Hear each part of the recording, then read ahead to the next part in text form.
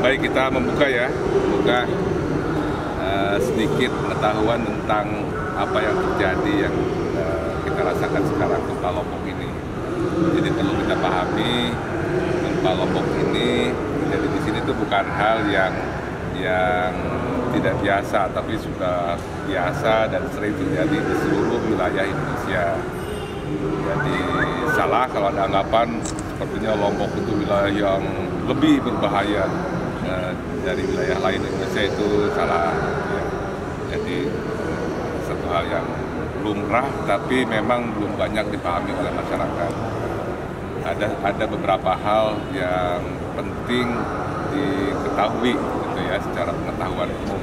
Yang pertama gempa itu siklus, siklus. Jadi setiap sumber gempa itu ada siklusnya. Siklus gempa itu bukan mingguan, tahunan, tapi puluhan tahun, ratusan, bahkan ada yang ribuan tahun. Satu gempa yang lepas, gempa besar lepas di satu sumber untuk terjadi gempa besar lagi itu butuh waktu lama sekali karena ada proses pengisian dari energi gempa itu akibat tekanan dari bumi itu. Nah, nah, barangkali pesan utamanya nih ya nanti kita diskusikan secara luas.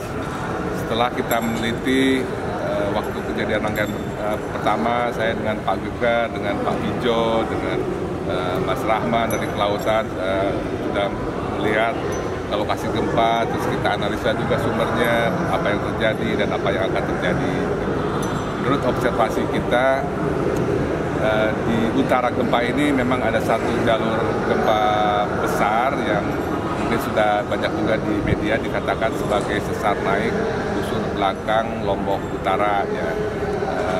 Itu tidak hanya di Lombok sebetulnya di eh, sesar naik busur belakang Nusa Tenggara sebetulnya karena jenis gempa yang sama itu terbentang mulai dari uh, Alor di timur Alor, Wetar, Flores yang pernah ada gempa besar di sana 1992, kemudian Sumbawa, Lombok, bahkan sampai ke Bali. Bahkan itu menerus jalurnya sampai ke Pulau Jawa itu ya, tapi akan tidak kita ceritakan di sini. Uh, nah di Lombok ini, segmen Lombok ini ada dia terbagi-bagi menjadi tiga bagian atau subsegmen lah ya ada yang bagian tengah, bagian barat, bagian timur. Jadi terpisah-pisah tidak satu bulat satu begitu ya. Itu satu keuntungan juga karena kalau lepas sekaligus berarti eh, magnitudonya lebih besar. Tapi ini terpecah menjadi tiga bagian lah. Gitu. Itu sebabnya kenapa gempa yang terjadi itu ada rangkaiannya dan cukup lama dirasakan. Jadi rangkaian pertama mulai dari 9 Juli sampai 5 Agustus dimulai dari ada gempa pembuka, gempa utama yang 5 Agustus terus ada gempa banyak gempa susulan. Nah kita mungkin waktu itu berharap berakhir, ternyata tidak.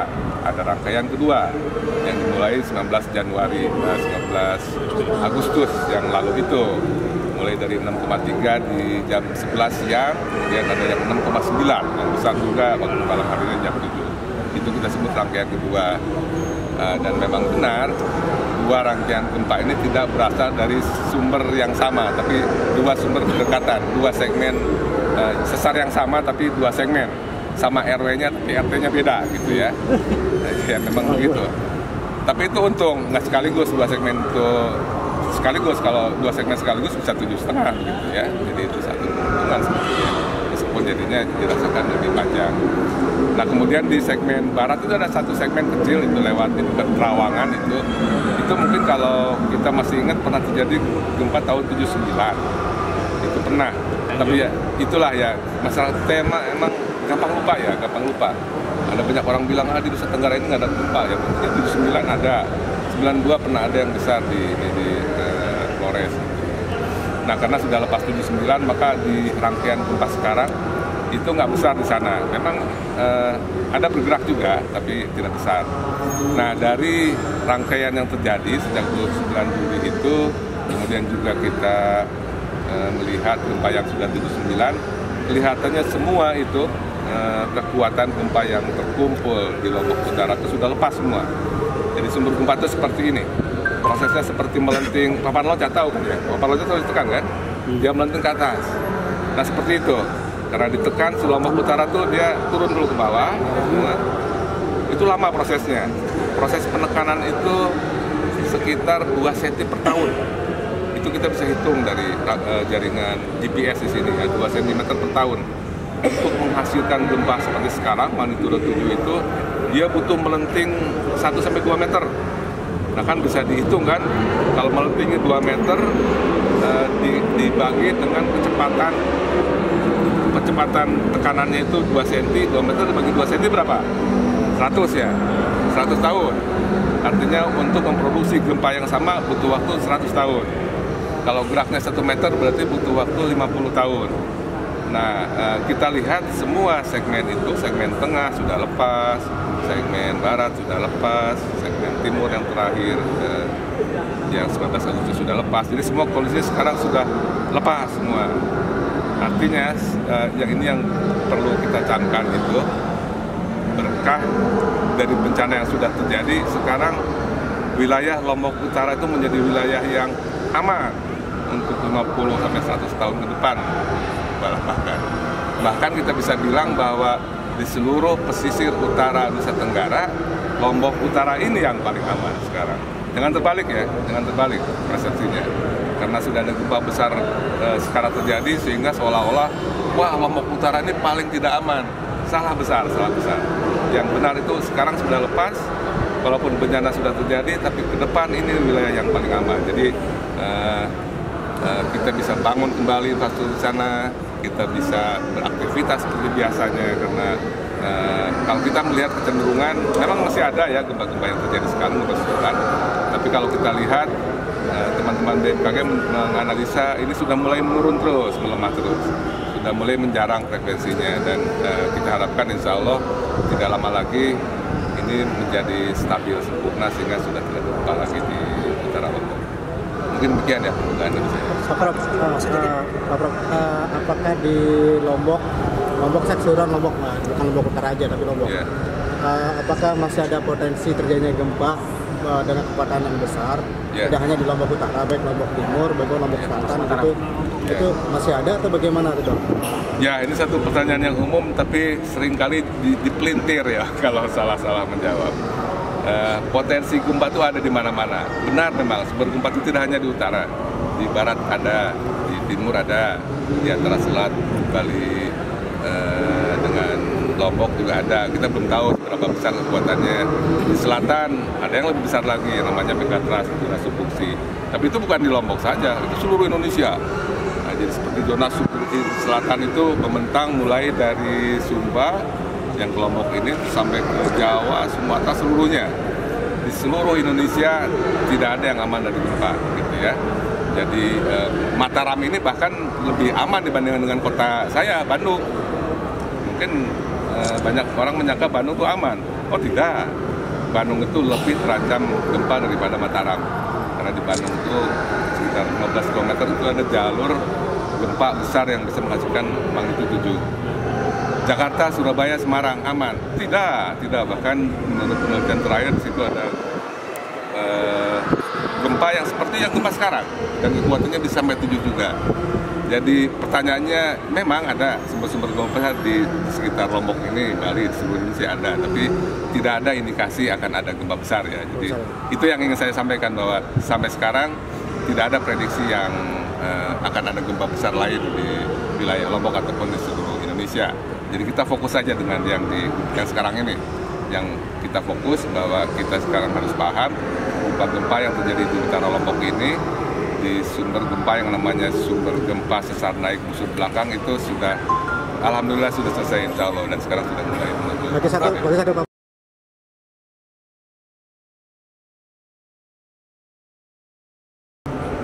Nah ini harus imajinasi sedikit gitu ya.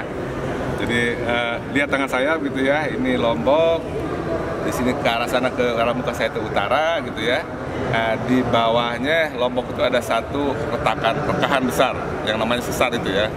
Dia berarah barat timur, kemudian dia miringnya ke arah selatan sekitar 30 derajat. Ini yang namanya sesar busur belakang itu. Kalau gempa yang sekarang terjadi itu membuat si Lombok ini, pulau kita Lombok itu bergerak ke utara dan ke atas, jebrot.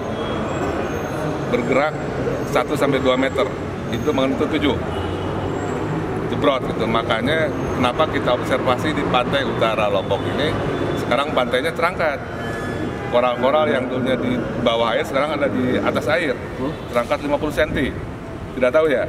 Nah, main-main ke Lombok Utara di pantai ya. Pas air surut, nanti kita lihat karang-karang yang di bawah air sekarang ada di atas. Ter- Terangkat 50 cm karena si Lombok ini bergerak di bidang sesar ini sekitar 1-2 meter. Bidang sesar ini malah sampai ke bawah eh, Rinjani itu, ke bawahnya itu kira-kira segitu ya. Jadi ada juga salah ke tidak apa namanya kesimpang siuran lah, dibilang gempa darat.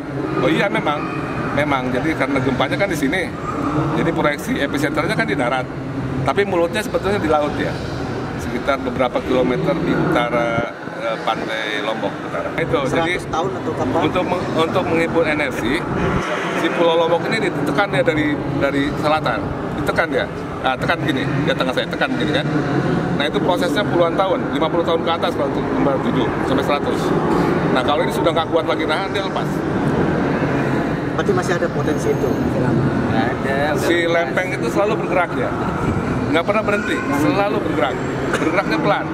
Nah sekarang ini dia akan mulai lagi menekan tapi dibutuhkan waktu lebih dari 50 tahun untuk menciptakan gempa yang sama jadi sekarang itu sudah tidak ada sudah lepas apa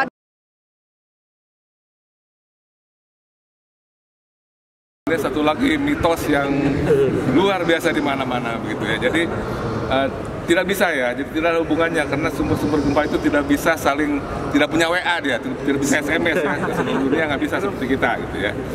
Jadi gempa sumber-sumber gempa itu hanya berhubungan ke sekitarnya saja. Jadi misalnya kalau ditanyakan apakah segmen Lombok berhubungan dengan segmen yang di Bali, ya mereka memang suka ngobrol dengan Sumbawa, ya memang ada karena berdekatan kan dengan tetangga kan selalu ada ini ya ada interaksi. Tapi kalau dengan gempa di jangankan di Fiji dengan yang di Jawa pun nggak ada hubungannya, di Sumatera nggak ada. Jadi semua sumber gempa itu berdiri sendiri. Bukan garis sesar itu sendiri. Tidak Garis ada hubungan sesar. dengan garis. Ada iya dan tidak. Misalnya gini, zona subduksi itu kan mulai dari Aceh, mulai dari Aceh sampai ke Sumatera Selatan, sampai ke Jawa, sampai ke Lombok. Itu kan satu garis, satu garis. Nah tapi itu terbagi-bagi. Ada segmen Aceh, Nias, eh, Mentawai, ada segmen Selat Sunda, ada segmen Jawa Selatan, segmen Bali Lombok, ada terpisah gitu ya. Jadi eh, walaupun satu kabupaten tapi beda-beda RW, beda-beda RT. Maka benar nggak di bawah Lombok ini seperti peneliti yang eh, mengatakan bahwa kondisi bawah bawah Lombok perairan kita tidak salah itu udah remak katanya. Terus Udah remak. nah, Iya. terus benar eh, kondisi Lombok sendiri masih aman atau masih, layak untuk Iya. dihuni atau bagaimana? Nah ini juga satu pengetahuan yang dipelintir. Kalau ditanya apakah ada wilayah di, di dunia itu tidak remak, jawabannya nggak ada, semuanya remak pak.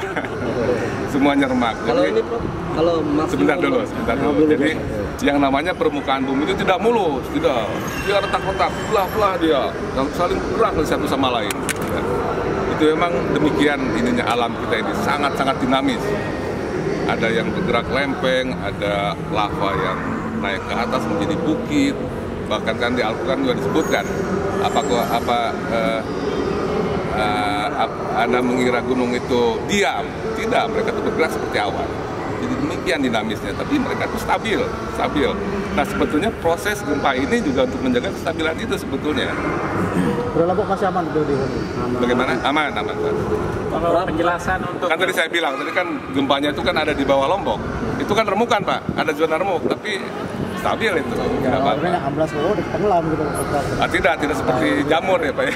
Prof, Prof, ini penjelasan yang sangat penting dan paling hebat Iya. eh, dari dua bulan terakhir ini. 50 tahun kayak KLU aman. Ini yang ditunggu masyarakat sebenarnya. Yang BMKG sama sekali tidak pernah beri kepastian. Nah, Lotim gimana Lotim yang 6,9 SR terakhir itu? Karena kan eh, apa pusatnya kan beda. Lotim apakah sudah aman juga 50 tahun ke depan? Sudah Pak, sudah. Lombok Timur sudah aman.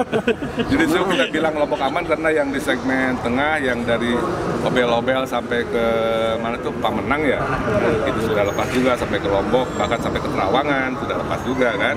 Bagian lepas di 79. Terus yang timur itu segmen timur namanya itu yang sudah melepaskan yang Lotim itu ya, Lombok Timur maksudnya kan ya, yang ada Pulau Sulat itu, nah itu di bawahnya kan ada juga gempa. Jadi semua sudah lepas. Bagaimana penjelasan yang yang mengarah ke Sumbawa wilayah ke barat itu? Mengarah ke Sumbawa. Ya Ya itu. Iya, Prof, Ini bagaimana? pertanyaan berapa kali ini. Jadi begini, ya memang kita sebagai saintis itu bisa salah tapi nggak bisa bohong gitu ya. Jadi kita terus terang aja semua dibuka. Jadi dari eh, data seismik, seismologi, memang ada perambatan ke arah barat gitu ya. Jadi sepertinya ada pemicuan. Si segmen Lotim ini sepertinya ngobrol dengan segmen di Sumbawa Barat gitu ya. Tapi jangan salah, jangan salah.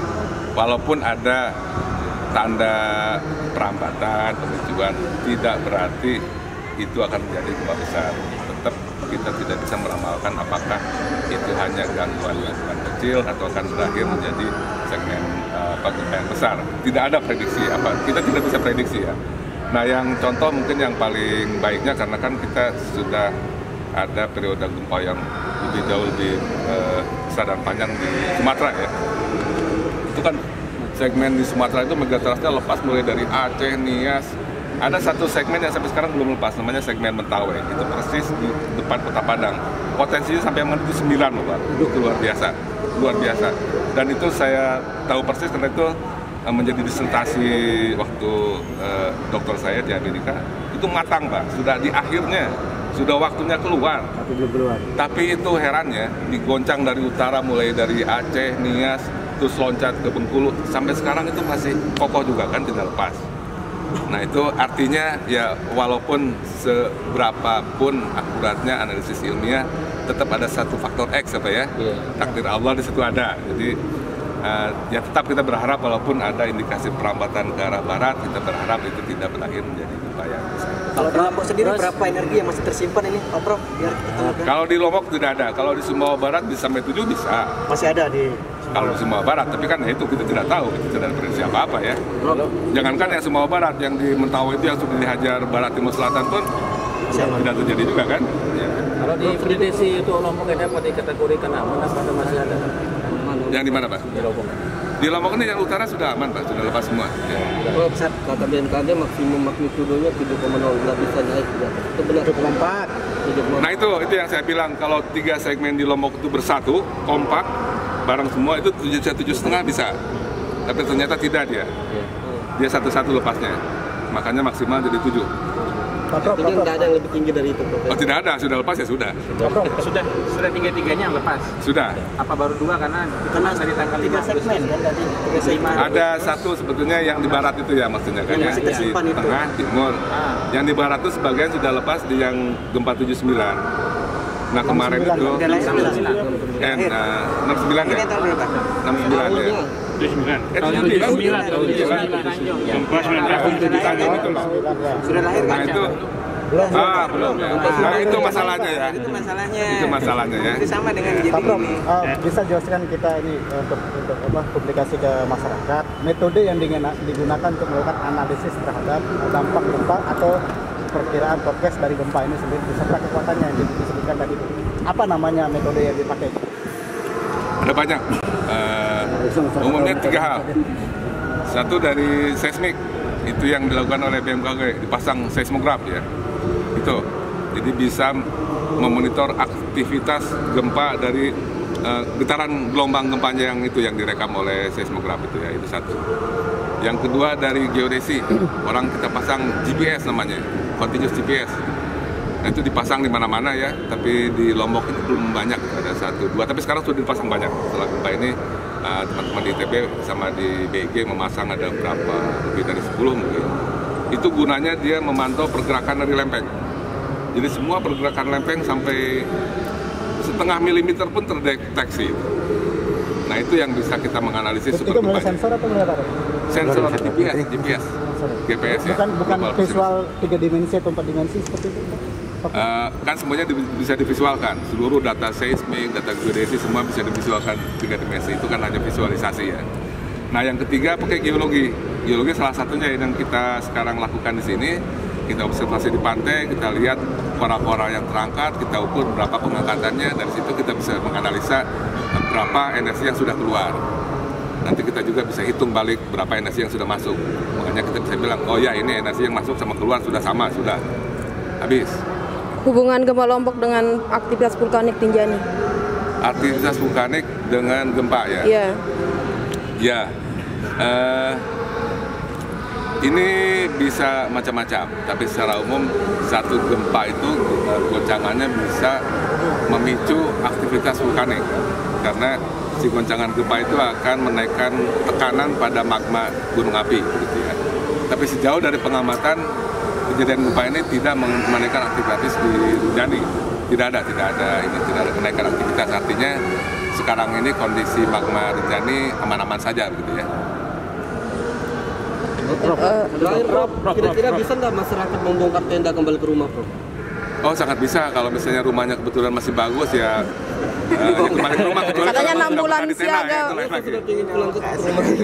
Ya alhamdulillah ya mendingan pulang ya Pak ya. Prof, Prof, aduh Prof. Ya, Saya izin Prof. Saya bertanya Prof, termaaf agak terlambat. silakan. Ya. Jadi yang saya tanyakan Prof ya, kemarin Dinas PUPR KLU Ya, itu menemukan ada tujuh titik di Kayangan. tujuh apa? Tujuh titik di Kayangan. Titik. Ya, yang tidak bisa dihuni gitu Prof. Gitu. Ya, Nah, apakah ini kemudian berkorelasi dengan yang yang lekungan yang ada di, di atas gili itu, Prof? Apakah itu berkorelasi apa tidak itu, Prof? korelasi dengan hubungan apa? Lekukan yang di gili itu, Prof. Karena ada lekukan di gili yang di atas di foto itu, di foto udara kan terlihat ada lekukan. Retakan. Gini, eh, gimana, Prof? Kira-kira, Prof? intinya tidak hanya di tempat itu tapi di seluruh Lombok itu aman sedangkan tidak ada gempa lagi kecuali memang di itu ada apa ya ya sudah aman sudah kena longsor, longsor lagi kan jadi titik di mana pun aman menurut saya nggak, nggak ada masalah yang jadi masalah itu kan kalau bangunan yang sudah hampir roboh ya itu yang harus dibetulkan kan strukturnya Persoalannya kemudian Pak Dinas PUPR KLU itu nggak berani bangun di situ. nggak berani bangun Meminta ya. warga di situ untuk hindar dari situ, menghindar gitu. Baru kemarin, Prof. apakah itu di lereng yang terjal Nah, di Kayangan, Prof, di daerah Kayangan. saya nggak tahu tapi kalau hubungannya dengan gempa enggak tapi kalau hubungannya dengan kestabilan lereng misalnya itu terlalu terjal Kestabilan tanah. Nah itu mungkin ada perhitungan lain kan? nah itu. Persis atau misalnya di situ ada daerah banjir atau apa gitu. Tapi kalau gempa enggak enggak gimana pun Jadi ini urat gempa. Nah di urat ini jangan bangun begitu maksudnya. ah itu eh, begini. Jadi getaran gempa itu dia bisa diamplifikasi oleh tanah-tanah lunak segala macam gitu ya. Itu jadi ada amplifikasinya lah gitu ya. Eh, tapi tidak berarti nggak boleh bangun di situ Apakah Lombok ini seperti seperti Jepang nantinya? Yang tiap hari bakal kena gempa kedai kalau majunya seperti Jepang alhamdulillah Alhamdulillah malah kan maju kita. Nanti Gempanya. kita ekspor kendaraan ke Jepang nanti kita. Gempa, gempanya wilayahnya maksudnya. Ya. Yang di Jepang itu kan karena dia masuk juga ring of fire gitu Ya. kan. Ya. Kita Lombok juga ring of fire. Apakah nanti sama seperti Jepang? Karena Jepang kan hampir tiap menit ada gempa gitu. Lombok Apakah itu bagian dari Indonesia itu? dan Indonesia itu memang seperti Jepang. Setiap hari juga ada gempa. Bahkan di Indonesia Timur tuh lebih tinggi aktivitasnya daripada di Jepang. Secara regional ya. Prof, Prof, dengan kondisi apa pembacaan kondisi Lombok hari ini kira-kira masih menyimpan beberapa maksimal kekuatan susulan yang di beberapa titik itu. Yang di gempa sekarang ya. Saya tidak pantau tapi kelihatannya sudah eh, kecil ya, sudah lebih dari di bawah 5 ya. Itu sudah 4 ke bawah sekarang ya. ya. 43 sekarang. Ya. Apakah waktu bisa mempengaruhi besar kecilnya gempa enggak? Seperti pagi, siang atau malam? Itu Biasanya malam itu dok. Biasanya malam itu berarti ya. Kok bisa dok, bisa. saya ngantuk. Ya. Nah, terus ya. terus yang kedua dok. Yang kedua apa namanya? Nah, seberapa jauh jarak dan waktu pusat gempa sama Mataram atau Lombok Tengah. Nah, ini kedua-duanya belum dapat ini katanya ini ya. Setelah giliran. sama Lombok Timur dan Sumbawa. Iya. Kira-kira ada enggak? Yang pernah Kalau Mataram itu sebetulnya daerah yang cukup aman di Lombok ya, di tengah-tengah dia. Ke utara ke sumber gempa utara juga cukup jauh, ke yang selatan lebih jauh lagi. gitu. Mataram ini Pak Dani, Oke. satu Pak Dani. Nah, apakah Mataram Edgar. Siapa? Pak dulu. Pak. Iya. Edgar dulu, Pak Edgar. Apakah Mataram ini aman dari tsunami atau bagaimana? Saya lupa itu. Ada tsunami, ada tsunami. Apakah Mataram aman, aman dari tsunami atau bagaimana? Aman. Saya ingat pernah di SMA 1 atau SMA berapa? Bukan, bukan saya. Saya Oh SMA ya. 2, saya Kalau anak kalau SMA pariwisata 1 saya malah dulu bukan. kita punya guru namanya Pak Kucip. Saya ingat Oh, ceritanya apa- dia bilang, Pak Kucip dulu bilang gini, saya masih ingat bahasa bahasanya. Pulau Lombok itu ya marak cendawan katanya gitu kan Menara Empat Belik rebak Lombok katanya dulu zaman kita sekolah dulu tapi gini ya Mataram tuh jauh dari laut seperti Pak Dani tadi bilang kan apalagi kita di Islamic Center ini kan Panjang Penan jauh 4 kiloan Panjang Selatan apalagi ya jadi yang namanya kalau tsunami orang tidak tsunami jadi gini. Tsunami itu teriak bilang tsunami tsunami tsunami setelah dua jam apa setelah satu jam setelah gempa ya lekat. Ya bohong. Ya jadi kalau ada orang teriak misalnya ini gempa kerasa ini jam 7 Nah, jam 8 orang bilang teriak tidak tsunami tsunami. Ada bohong. Karena tsunami di Indonesia karakteristiknya dari Aceh sampai ke Papua jarak jarak jarak pusat gempanya sama pantainya itu dekat nggak lebih dari setengah jam tuh air udah naik. Jadi sedikit Pak di wilayah mana aja potensial tsunami ini di Lombok. kalau di Lombok yang besar memang selatan semua seluruh Indonesia selatan. Nah Awang dulu jadi Awang, gini kita berapa? pernah kita pernah kejadian nih contoh yang bagus tadi udah disebut Awang. Sumbernya bukan di selatan Lombok yang Awang di selatan Sumba. Jauh kan NTT makanya saya bingung kemarin kok yang panik orang di Ampenan sama ini. Kalau kalau memang ada tsunami besar di Bali di Surab di Jawa Timur di Sumbawa semua orang juga takut karena ada gempa besar. Jadi itu nggak masuk akal lah. Nah pantai utara tsunami sedikit sama Pak Dhani tadi potensinya kan sekitar maksimal kalau setengah maksimal tinggi gelombang tsunami sekitar satu sampai satu setengah meter. Kalau tanah landai pun nggak akan lebih dari satu kilo dari pantai. Mati dari mana itu dari uh, observasi kita dari tahun 92 ya. 92 Flores 94 Banyuwangi, Banyuwangi 96 itu di eh, Papua di apa namanya? Di Biak tahun 2000 di Tenggolu Bibi 2004 di Banda Aceh 2006 di Pangandaran 2009 banyak itu udah tsunami ya. Iya. Kalau di Lombok sembilan. Nah gini sama sirine jangan jangan gini jadi ini ada ini. Jangan nunggu sirine. Kalau misalnya anda lagi di pantai ya ada di, anda lagi tinggal di pantai terus kerasa gempa. Tapi kalau gempanya anda masih bisa lari itu nggak akan jadi kerasa gempa di pantai cari tempat yang agak tinggi. Kalau lagi di pantai. Tapi kalau lagi di utara mau lari nggak usah lari tinggal aja di udah jauh sekali dari pantai jadi harus tahu posisi, eh, posisinya di mana tinggalnya. Kalau anda lagi main di pantai ada kerasa gempa lebih dari 25 detik. Kalau lebih dari 25 detik goncangan gempa itu berarti anda udah nggak bisa lari. Terus lihat bangunan kalau bangunan nggak ada roboh insya Allah nggak akan ada. Dari data yang kita punya dari pelajaran yang saya kerjain juga sampai saya sejauh juga penelitian saya seperti itu. Pak, kalau yang tsunami yang di Lombok tadi kan potensi untuk wilayah Lombok Selatan kan, dikira dari pembacaannya eh, apa ketinggian kemudian jangkauannya itu seperti apa Kak? dengan dataran di jadi gini jangan ini juga sama nih sering dipinter ya Jepang pun semua pantai di pinggir pantai Jepang itu potensi sama kayak yang Maret tahun 2011 itu kan saya lama tinggal di Selandia Baru sama seluruh pantai New Zealand itu potensi.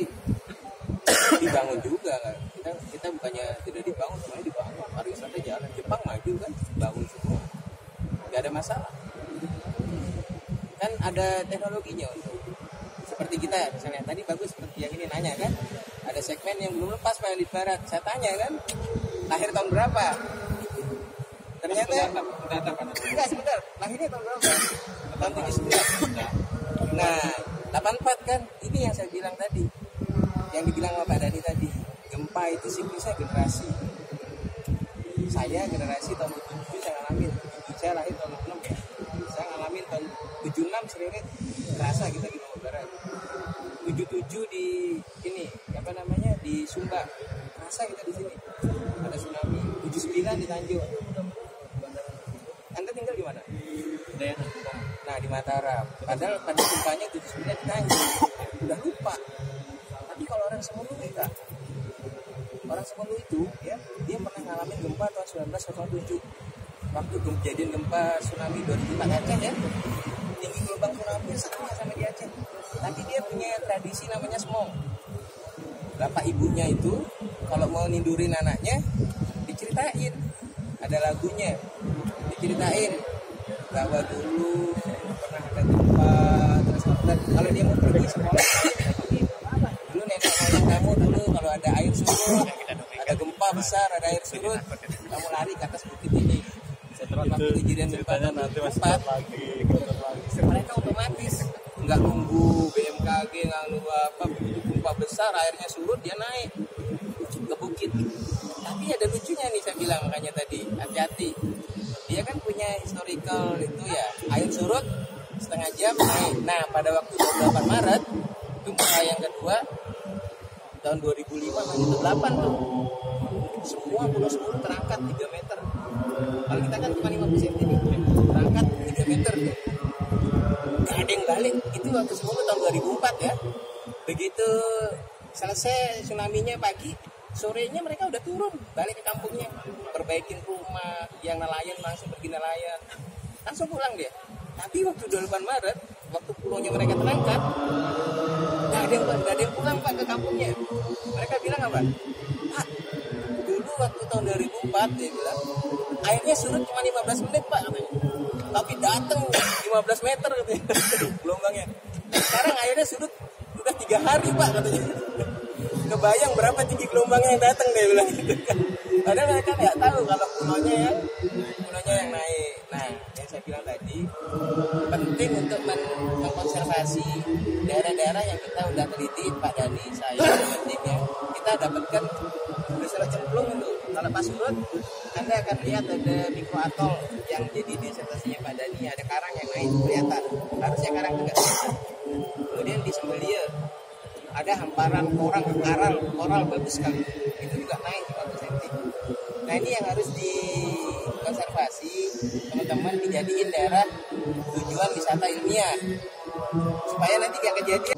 Ini di desa Pademakan namanya di Sembelia kita udah bicara sama Pak Camatnya sama Pak Kadusnya supaya daerah ini dikonservasi. Jadi nanti teman-teman kan ini Pak Dani bilang periode gempanya 50 100 tahun. Kan berarti nanti cucunya diajak jalan-jalan ke sana. Ini loh dulu ada gempa ini ada tandanya supaya nggak kejadian lagi kayak ini kan. Tadi pertanyaannya betul pertanyaannya benar sekali. Pak sama Dani kan pak kan berarti ada yang kosong segmennya. Enggak itu tahun tahun tahun, tahun 79 sudah lepas. Mungkin ada Pak yang tadi saya pertegas saja kan Bapak menyampaikan potensi tsunami kan di Lombok Selatan ya. Bukan hanya Lombok Selatan, semua semua ya maksudnya Indonesia. kalau tadi kan Bapak menjelaskan di Mataram kan sudah ada aminnya misalkan tidak akan sampai satu, paling 1,5 meter. Dan dengan kalau yang di selatan itu bagaimana kemudian Pak? tergantung dari kondisi ininya kondisi daerahnya. Bervariasi. Harus di harus dihitung bervariasi. Dan itu nggak hanya di pantai selatan Lombok seluruh Indonesia. Dari Aceh sana sampai ke ini sampai ke Sabang ya sampai ke Sumba. Iya, sama. sama. Berarti nggak perlu Jepang juga sama. Berarti belum ada diteliti ya di selatan. Yang selatan. Daerah selatan itu belum diteliti berarti ya. kalau kita selalu di jadi gini seperti Pak Dani tadi ya Pak Dani cerita di Mentawai itu kan Pak Dani riset puluhan tahun ya. Sampai udah risetnya Pak Dani dari situ. sekarang. Itu pun udah dihitung Pak sampai sekarang bahwa itu kan masih kejadian. kemarin gitu. itu masih masih sehat masih hidup Nah di situ ada yang namanya Pak Deni bilang takdir ya. Sunatullahnya ada ada di. Tapi kita wajib usaha untuk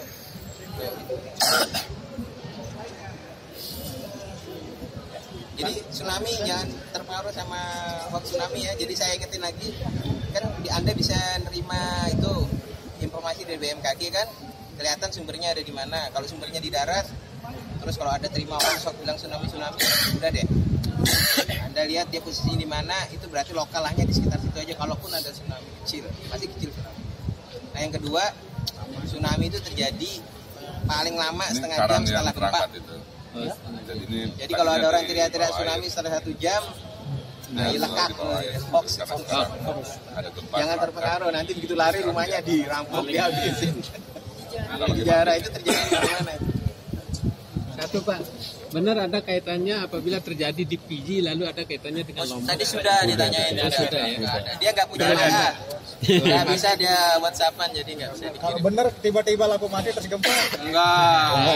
Ya tiba-tiba lampu mati nyalain lilin Pak biar terang. Kenapa gempanya selalu Minggu? Nah, kenapa gempanya selalu hari Minggu? Bagaimana bagaimana kaitannya dengan PG tadi enggak tempat dengar ya? Nggak ada hubungannya. Nggak ada Nggak ada hubungannya. ya? Nggak ada. Nggak ya? Oh, Ini, gitu. ini ada yang menarik juga nih di wilayah Lombok Tengah itu yang yang kita namanya warga masyarakat yang awam ya ada eh, sedikit letupan di sana mengeluarkan lumpur apa yang itu Oh, yang iya, katanya goncangan. dia dikaitkan dengan isu gempa itu seperti apa itu? Ya, itu likuifaksi namanya. Jadi di bawah itu ada lapisan yang pasir biasanya itu pasir jenuh air. Nah, dia kalau digoncang gempa jadi liquefy, jadi cair, ya, jadi jadi cair. cair. Karena tekanan tinggi maka dia akan meletus ke atas. Itu seperti eh, letusan lumpur ya, lumpur pasir kan Iya. ke atas itu. Convection namanya itu. Seperti halnya kalau yang besar tuh seperti lumpur Sidoarjo lah gitu ya. Tapi itu yang besar kan. Kalau ini skalanya lebih kecil. Itu biasa terjadi kalau ada gempa. biasa. Ini kaitannya dengan tadi kawan-kawan yang punya sumur bor kedalaman dalam itu Pak eh, mengeluarkan seperti Ya, itu ya, tadi. ada pasir juga ya. Heeh. Vaksin. Malah lumpur kadang-kadang Ya, lebih ya, banyak Sama lagi. air pump kita kan coklat ya. Oh, memang memang pengaruh itu ya. Ya.